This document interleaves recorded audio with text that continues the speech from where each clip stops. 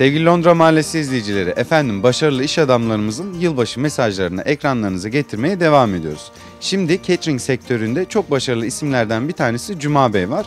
Merhabalar Cuma Bey, programımıza yeniden hoş geldiniz. Merhabalar, hoş bulduk.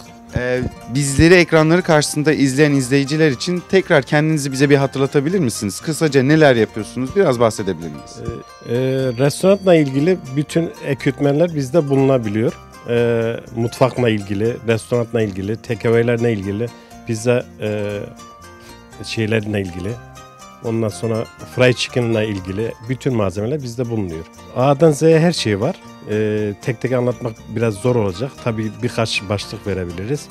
Ee, döner makinesi, charcoal grill, e, pizza fırını, e, dolaplar, display dolaplar, dik dolaplar, efendime söyleyeyim A'dan Z'ye maşasından, bıçağından, çatalından, e, tabağından her şey var yani. Tek tek anlatmak biraz zor olacak tabii. Peki Cuma Bey, 2016 yılı restoran sektörü için ve sizin için nasıl geçti? 2016 yılında çok iyi restoranlar açıldı. Çok iyi işler yaptık. Biz de güzel işler yaptık. İyi başarılar e, oldu. E, 2017'de inşallah yine bu başarıları yakalayacağız. Peki Cuma Bey, son olarak e, bizi izleyen izleyicilerimize bir mesajınız var mı?